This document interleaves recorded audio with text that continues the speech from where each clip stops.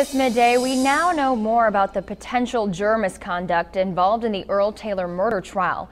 Last month, a jury convicted Taylor of murdering his first wife, Kathy Dean Taylor. That happened in April of 1975.